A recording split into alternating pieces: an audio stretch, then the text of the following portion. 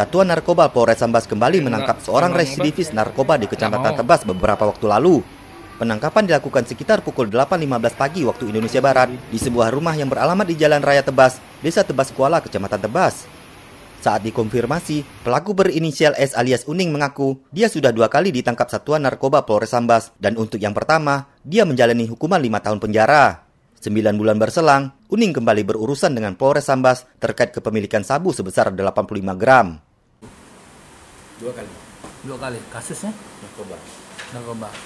Yang pertama kena berapa tahun? Lima tahun. Lima tahun.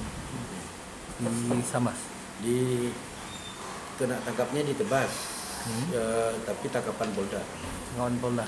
Iya. dihukumnya di? Di Sambas di Sambas Iya. jadi berapa tahun yang lalu bang? Baru 9 bulan. 9 bulan keluar? Iya. Hmm. Apa bang bisa itu? Bisa kembali lagi ditangkap? Melakukan kejahatan yang sama. Sama. Oh. alasannya bang? Bang kan dah merasa kemarin waktu ditangkap sakit lalu masih kembali lagi. Alasan ini jelas gini katakan ada pekerjaan ada pekerjaan. Hmm. Sementara itu, Kapolres Sambas, AKBP Permadi Said Putra melalui Kasat Narkoba Polres Sambas, Ibtu Jabilson Sinaga mengatakan pelaku berinisial S ini sering mengedarkan narkoba jenis sabu di wilayah Kecamatan Tebas. Selanjutnya petugas kepolisian melakukan penangkapan dan akan melakukan penyelidikan lebih lanjut. CSM TV madahkannya.